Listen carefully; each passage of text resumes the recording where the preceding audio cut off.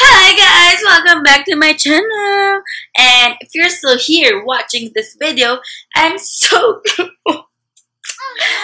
for staying, for tuning in every time I post a video because um I'm sorry if I haven't been uh posting videos regularly because I've been caught up with adult life, aka work, um weekend events and uh I've also been traveling lately.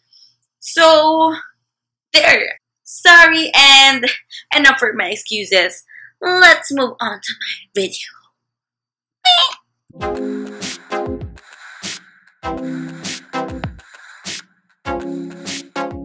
I'm really a lazy person. Like I won't wake up earlier than any normal person should be just to do her face or just to do her makeup.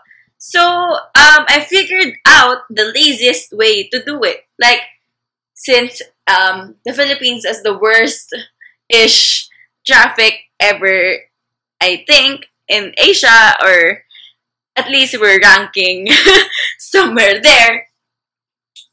I figured out a way how to do my face in uh, during my travel time since it takes up two hours to get me to places. I do it on bus, on shuttles. If you don't know shuttles, those are vans or FX transports.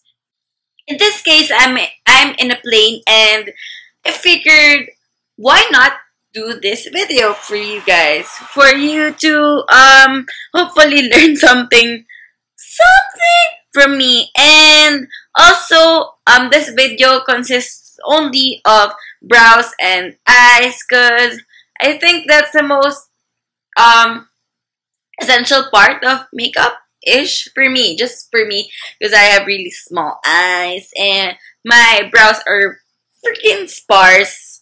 So I hope you will learn something from this video. Okay bye. Alright, let's get started. So I'm using here the table thing on the plane and I have my makeup pouch ready. So I'm using e.l.f. eyebrow kit. I'm starting to put it until the lights went out. So yeah, I opened the lights in the plane and I started putting it like the usual. I'm using the wax to tame my brows. Hi there. um, um, this is not my usual routine. I just discovered that this works for me better. That I put the wax first on my brow. Also, this is colored-ish. So yeah, I just follow the shape of my brow. Just put it on. Like how you put hair gel on your brow. And I do it on my other eyebrow. There. Then used I use the light reflection since it's pretty dark in the plane to see. And then here I'm using my very old, very used IN2IT powder. I here I follow the lines of my um brow, just the lines like the outer line and there. I'm following the upper line next. And then all the way all the way to the edge of my the outer part of my brows there uh, I'm using a, a liner doing vertical strokes near my nose with the little amount of product left on the brush so it's uh, very light and it's not that harsh and if you notice I did not put the wax uh, all the way near to my nose. I just put it where my brow, my original brow is because we're doing the fading effect.